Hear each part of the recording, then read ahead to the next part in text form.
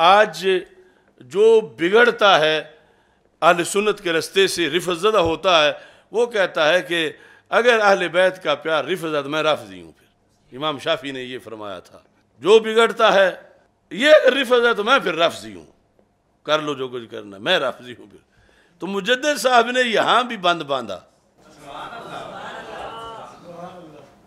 आपने फरमाया कि ये धोखा है जो ये लोग इस तरह करके शेर का मतलब बताते हैं। मोहब्बत अमीर रिफ्स।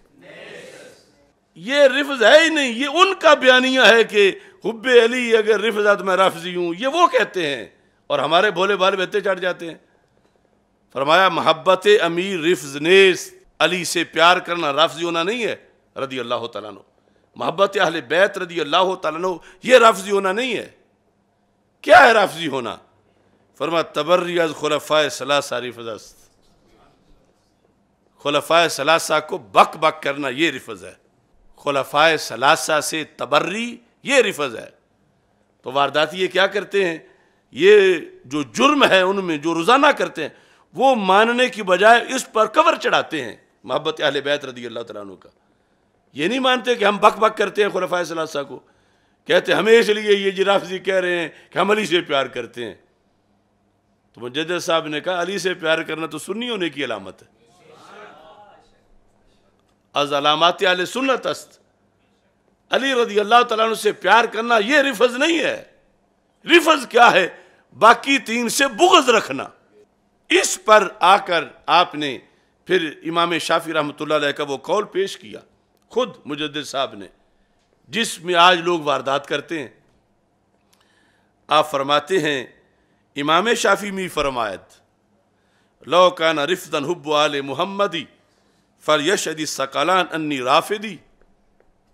ये शेर लिख के, यानी हुब आल मोहम्मद रिफ्स नेस्त, चुनाचे गुमामी बुरंद फरमाया कि अगर रिफ्स हुब आल मोहम्मद वसल्लम का नाम होता तो जिन्नो इंस तुम गवाह हो जाओ कि मैं फिर राफजी होता।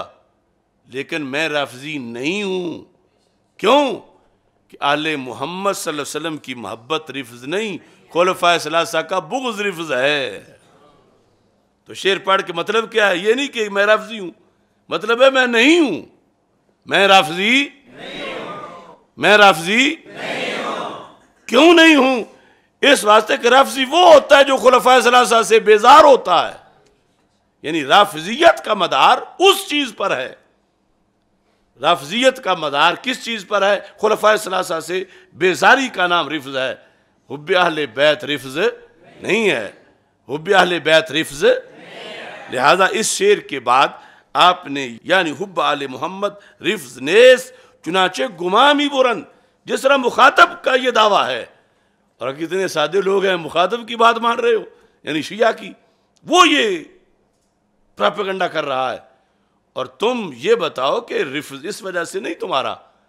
रिफ इस वजह से है कि तुम खुलफा से बुग्ज रखते हो, इस वजह से। अब यहाँ इस शेर पर हमने कई बार बात की है। अब इसकी थोड़ी सी वजाहत मैं इस लिहाज से भी करना चाहता हूँ कि ये एक शुरू से अंदाज आ रहा है कि जब एक चीज़ जो है वो मुखातब का प्रापोगंडा हो तो फिर उसके लिहाज से फिर जवाब दिया जाता है।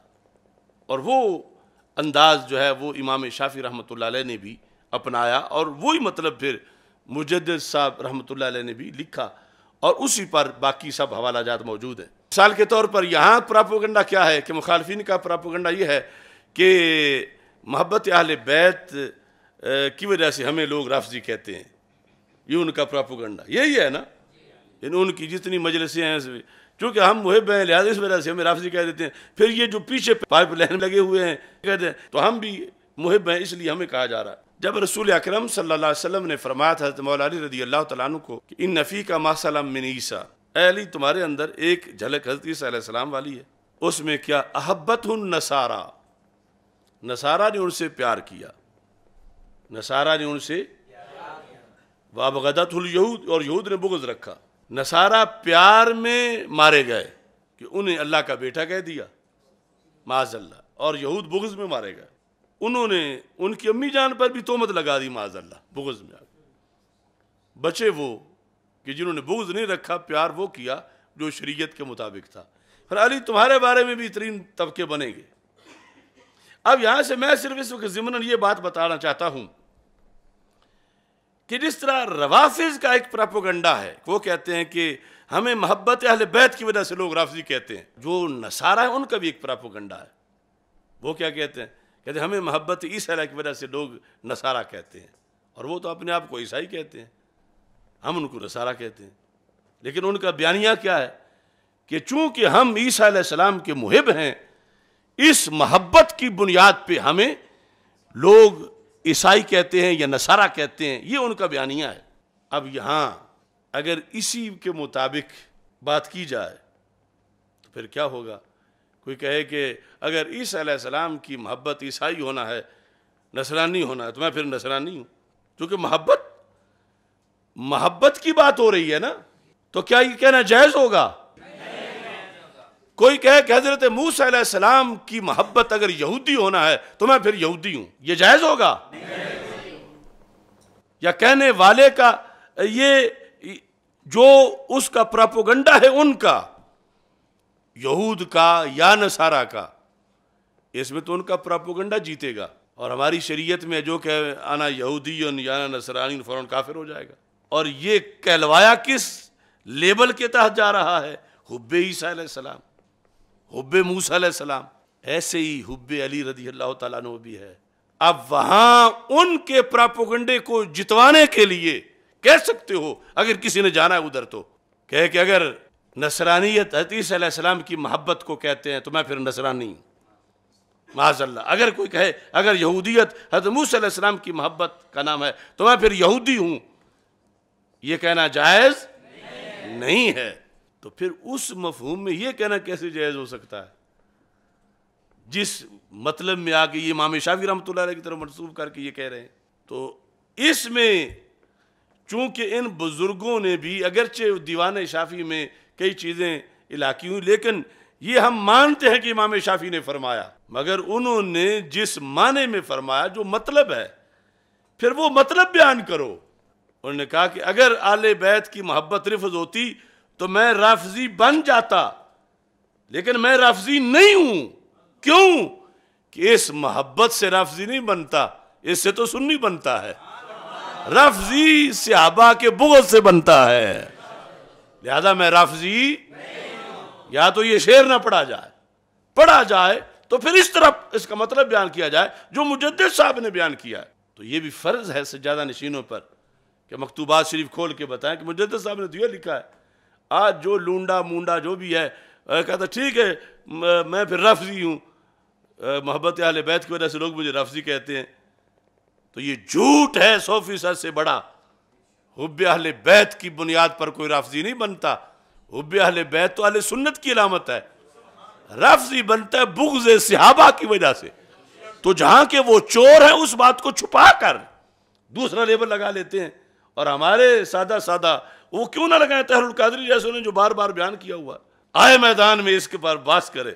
इस शेर के मतलब में उसने झूठ बोला और कारवां को लूटा।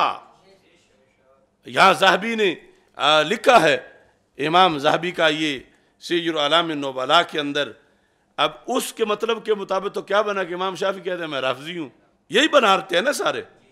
तो यहाँ लिखा है, इमाम जाहबी ने, मन जामा अन्न शाफिया रदी अल्लाह तशैया फ़ुआ मुफ्तरिन ला यदरी मा यकूलो फरमा जो ये गुमान करे कि इमाम शाफी रफजी हैं शिया हैं फरमा वो परले दर्जे का झूठा है इत्तेहाम तो मत लगाता है इमाम शाफी पर फरमाया वो जानते ही नहीं कि उनके शेर का मतलब क्या है फवा मुफ्तरिन वो मुफ्तरी है अगरचे कातरी कहलाए मगर वो मुफ्तरी है। ये इमाम जहाबी ने ये आठवीं जिल्द के अंदर ये लिखा।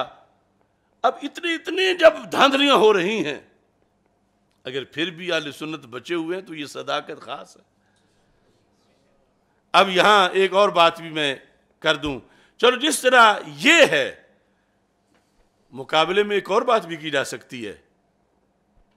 मसलन इधर ये कह रहे हैं कि अगर मौला अली रदी अल्लाह तहो का प्यार रफ्जी होना है तो मैं रफ्जी हूँ। तो कोई ये कहे कि अगर सिहाबा रदी अल्लाह तु का प्यार नासबी होना है, कोई कहे मैं नासबी हूँ तो हम तो उसको भी इजाज़त नहीं देंगे। हम उसका रद्द करेंगे। वो भी वारदात कर रहा है। हालाँकि ये लिखा है और मैं समझता हूँ हमारे सिवा इस अंदाज में आज नासबियत का कोई रद्द कर ही नहीं सकता। मदारजुसालिकीन इबन कय्यम की। इसमें इबन तैमिया का ये शेर लिखा हुआ है। उसने मुकाबले में आकर कहा, वही बात, ये जिल्द नंबर तीन है। इसके अंदर पहले ये शेर लिखा हुआ, इनका नरिफन हब्बु आल मोहम्मदी सल्ला अलैहि वसल्लम। इसने लिखा, वरदी अल्लाह शेख अबिल अब्बास इबन तैमिया। है सो यकूल इन का नस्बन हुब साहब मोहम्मदी फल यशदी सकलान अन्नी नासिबी। इबन तैमिया ने कहा, अगर सिहाबा किराम रदी अल्लाह तु की मोहब्बत नासबी होना है तो फिर जिन्नो इनस गवाह हो जाए, मैं नासबी हूँ। ये इबन तैमिया ने कहा, क्योंकि ये काट के लगाएँगे लोग। ये इबन इबन तैमिया ने कहा, इबन तैमिया ने कहा कि अगर सिहाबा का प्यार नासबी होना है तो मैं नासबी हूँ, जिन्नो इस गवाह हो जाए। ये इबन तैमिया ने कहा तो मैं यहाँ तो उसके कौल का ही रद्द करता हूँ।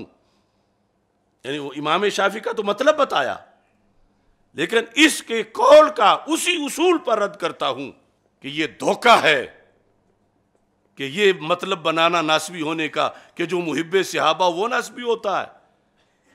मोहब्बत सिहाबा नासबी होना नहीं बुगज अली नासबी होना है। मोहब्बत सिहाबा नासबी होना। मोहब्बत सिहाबा नासबी होना। हुब्बे सिहाबा रदी अल्लाह नासबी होना। बुग्ज मौला अली रदी अल्लाह हो या बुग्ज अहले बैत रदी अल्लाह तलान ये नासबी होना है। ये धोखा है जो ये कहे। जो इबन तैमिया का ये शेर लिखा हुआ है, हम रद्द कर सकते हैं नासबियत का। कोई है, आज आज इस दौर में, इस घड़ी तक, वो इबन तैमिया के इस हवाले और इस तशरी के साथ जो बोला हो, इस नासबियत के खिलाफ तो पेश किया जाए। ये तहदीस नेमत के तौर पर कह रहा हूँ। तो हमारा तो एक में यार है, एक में यार है, क्योंकि हम सुननी है। जब किसी ने कहा कि अगर हुब बैत राफजी होना है तो मैं राफजी हूँ। इससे यह कहा कि फिर राफजियत ठीक है तो हमने कहा गलत कहते हो। हुब बैत रिफज नहीं, खुलफा सलासा का बुगज रिफज है। यादा रिफज मुर्दाबाद। और दूसरी तरफ़ जब किसी ने कहा कि अगर हुब्बे सिहाबा भी होना है तो मैं नाश भी हूँ। तो हमने कहा, नासबी मुर्दाबाद। क्योंकि हुब्बे सिहाबा नासबी होना नहीं, बुग्ज अहले बैत रखना नासबी होना है। और अहले बैत और सिहाबा रदी अल्लाह तुम सबसे प्यार रखना ये सुन्नी होना है। क्योंकि आज ये भी बड़ी दांधली है, जब हम उनके रिफ्ज का रद्द करते हैं तो वो और कुछ मिलता नहीं तो नासबियत नासबियत उठाए फिरते हैं। कोई किसी बात करने का कोई चज होता है। कोई इल्ज़ाम लगाने के भी कुछ उसूल होते हैं। जो हैं वो ये कहते हैं इस तरह कि फिर मैं नासबी हूँ और हम उनको भी यूँ ही तोल के नीचे गिराते हैं जैसे तुम्हें गिरा रहे हैं। कि जिसने ये कहा तो उसने झूठ बोला, दजल किया। हुब्बे सिहाबा नासबियत नहीं है। बुग्ज अहले बैत रदी अल्लाह तनासबियत है। लिहाजा ये बयानियाँ इस तरह का जो ला रहे हैं, वो भी गलत नासबियत वाला और राफजियत वाला और दरमियान में सुन्नीत है, जिस सुन्नीत को दाता गंज बख्श हजवेरी की हिमायत हासिल और उसके मुताबिक अल्लाह के फजल से ये, अब हमारे पास ये हक्कानियत ही पावर है। वरना अमेरिका भी हमारा गला दबाने को है। बरतानिया, इसराइल, इंडिया, ये पाकिस्तान की हकूमतें और पड़ोसी ममालिक की हकूमतें, वो खवारज की हों या रवाफिज की हों, अपने बेगाने। इतने में बंदा अगर जीता भी रहे तो यूँ ही होता जैसे कब्र में। लेकिन हम गज वज के कह रहे हैं तो ये हक्कानियत है कि कोई हमें झुका नहीं सकता इस हक के साथ होते हुए, इंशाल्लाह।